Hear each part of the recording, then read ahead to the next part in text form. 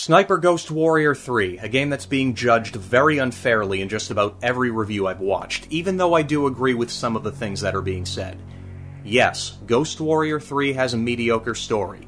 It's not coded very well. It has a lot of frame rate problems and more than a few bugs, along with a 2 minute load time every time you fire up the game. And this is on my computer that can play Crysis 3 maxed out with much shorter load times. On the consoles, it's more like 5 minutes. Gameplay wise, yeah, it's a Far Cry clone. Yes, it seems like City Interactive was just throwing everything at the wall and watching what stuck when they made this game. Almost like they had no idea what they wanted this game to be, and yes, the open world feels very lifeless and barren. There's almost nothing else to do outside the main levels. But there's something I noticed no one pointed out the difficulty modes. You see, there's a very big difference between each of the three difficulties, and it even tells you what they're about when you go to select them for the first time. And when watching all of these reviews, something led me to believe everyone who played this fucking game played it on the easiest difficulty and didn't bother with anything else. They didn't even bother exploring the fucking options menu. I noticed they had all the training wheels turned on, the mini map, the XP counter, all the hints and tutorials, the controls right there on the screen, the ability to magically tag all the bad guys and then know where they are at all times on both the mini map and the main display. Everything you can think of. And these same people went on to nitpick every little thing they could find, making the game out to be this unmanageable chore. And some of these people then had the audacity to claim that the game is too easy. Well, yeah, of course it's gonna be easy as fuck when you have all this shit helping you out. As far as I'm concerned, these are legalized cheats, and they ruin open world games all the time because there's almost never a way to turn them off. Thankfully, that's not the case here. You can turn almost all this crap off. Which is why I'm offering a challenge to everyone who said this game is too easy. Play it on challenge mode. Go to the options menu and turn everything but the health and ammo counter off. Everything. Even the bullet camera, because most of them don't know you can turn it off. Do that, and then come back to me and tell me the game is too easy. Rest assured, kids, challenge mode is tough. And it should have been the only difficulty put in there. This is the way the game was meant to be played, because when you play it on this mode, you need to play it like a sniper. You need to scout the area, carefully plan your attack, and take out all the bad guys in order of how much of a threat they are every single time you want to start shooting. It's going to involve a lot of sneaking, a lot of moving around to line yourself up for a better shot, and a lot of downtime. Especially when you've taken out most of the bad guys and are trying to find whoever's left but you can't get careless because one mistake can kill you. If you make too much noise, or the bad guys figure out what direction the gunfire is coming from, they'll start looking for you, and they'll most likely find you. Or you can turn a corner and walk right into the line of sight of a bad guy you missed or didn't see when surveying the area. The checkpoint system can be forgiving sometimes. I mean, it won't throw you back to your hideout after you die, but more often than not, all the bad guys you took out will come back to life, and all the bullets you used up before you died, they're gone. Gotta go back to your hideout and restock if you want to get them back. And if you're playing a story mission, fast traveling is disabled, so you gotta take the long way back. As for running and gunning, it's not an option here. Even with heavy armor, a single burst of gunfire can still kill you. You can still tag enemies, but only the drone can do it. And as soon as you call the drone back, the tags go away. But when you redeploy the drone, all the bad guys you tagged will still show up. So every time you want a reminder as to where a certain bad guy is, you need to redeploy the drone. But if one of the bad guys goes around a wall or goes behind some cover or something like that, the tag might either fade or disappear completely, so you'll have to find them again. Also, half the upgrades on the skill tree are disabled, which doesn't bother me at all because I hardly used them. There were some I wanted to use, but the way the skill tree works is you have to unlock two of the perks before you can go to the next section of the tree, and I would have had to unlock perks that, again, would have felt like cheating. Like being able to see the line of sight from every surveillance camera in Scout mode. Really? Scout mode should have been taken out entirely, and I'm surprised it wasn't disabled on Challenge mode. Oh, and the minimap? It's gone. Disabled by default, and there's no way to turn it back on. And those are just the big things, never mind all the small things I don't have time to talk about. Does it still sound too easy? And let's talk about some of the things that I agreed with, such as the story. Yeah, it's not great, but it did keep me interested until the end. Every time I beat a level or saw a new piece of the story, I always wanted to know what happened next, as opposed to the other two games where I can't even remember the main character's name, so it's doing something right. As far as the open world feeling like it was put in there as an afterthought, that's because it was. The open world in this game is nothing more than a vehicle used to let the player tackle the levels however they want. My guess is that City Interactive couldn't figure out how to give the player the level of freedom they wanted to and still make the game linear. So they're like, ah, fuck it, throw it into an open world. Oh, we need extra things? Uh, just tack a few of these on and call it a day. And that's exactly what all the extra stuff in this game is tacked on.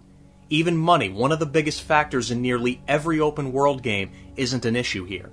Unless you're the kind of guy that absolutely needs to buy and upgrade everything, you'll have more than you know what to do with.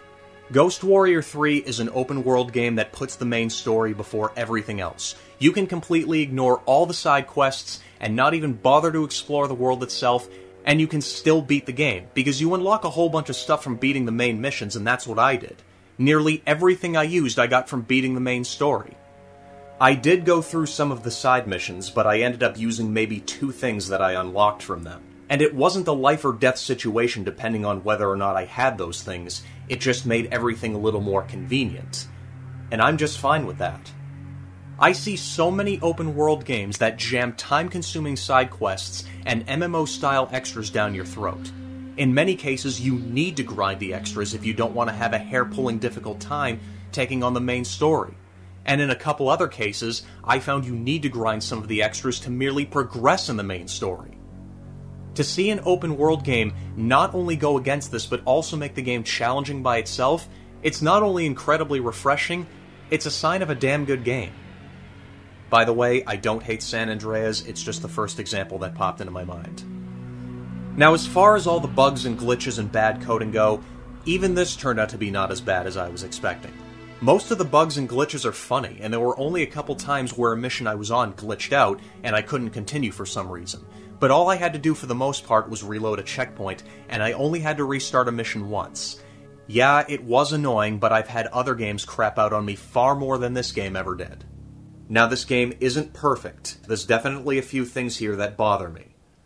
The first thing I can't stand is every time you enter into a certain area, this big message pops up in the middle of the screen saying, You are now entering the outpost, or the village, or whatever the name of the location was that you just entered.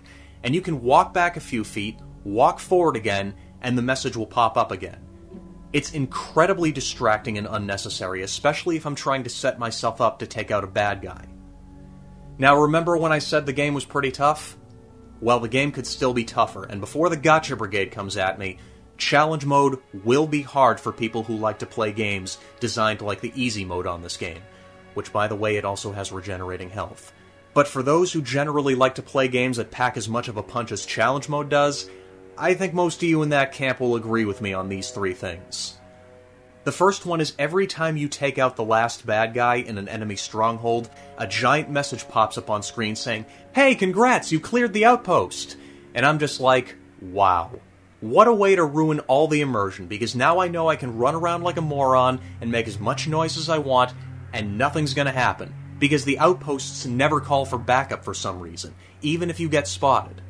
The worst thing that will happen is a guy might go to the mortar launcher and start firing mortars at you, but no backup will ever arrive, no matter how bad things get.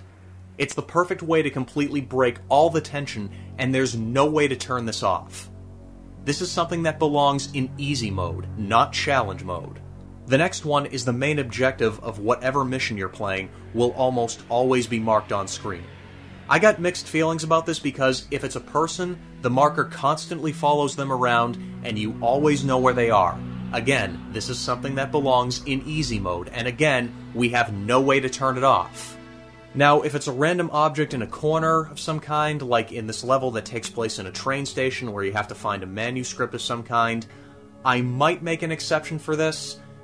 But even in cases like this, you could easily rewrite the dialogue so that the guy in the radio can say something like, Oh, you're looking for the manuscript? Why don't you check inside the station itself? And then you can make the script glow or something like that. Which, oddly enough, it already does.